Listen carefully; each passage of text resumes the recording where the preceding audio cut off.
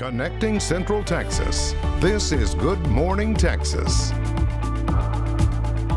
University High School in Waco is closed for in-person classes starting today. This comes after 12 people at the school have tested positive for COVID-19 since Friday. Students who need to make up exams will still be able to do so in person. The school is expected to reopen for in-person classes after the holiday break January 5th. The waiver of certain vehicle title and registration requirements will now end April 14th. There are three new ways to renew. You can do that online, which is the quickest way, or you can renew by mail or in person. Keep in mind your vehicle inspection must be up to date. In order to renew, Governor Abbott put the waiver in place in March of this year due to the pandemic. Time now for a check on your first alert forecast with Jordan.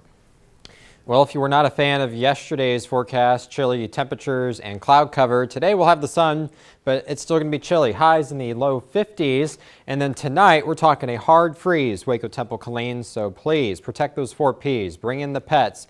Make sure the elderly and the kids are staying warm. The heaters are running. And then eventually, we'll have some warmer temperatures starting tomorrow with highs back into the 60s. Couple showers Saturday. Then we're talking mid to upper 60s going into the week of Christmas.